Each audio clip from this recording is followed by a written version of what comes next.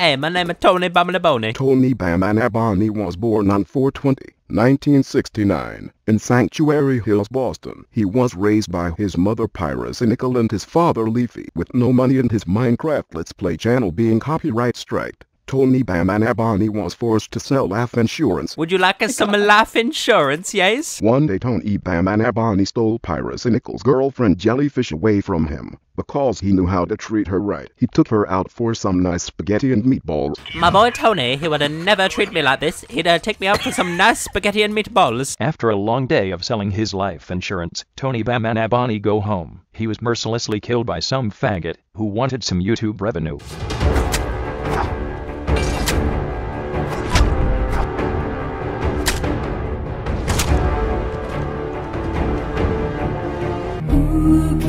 say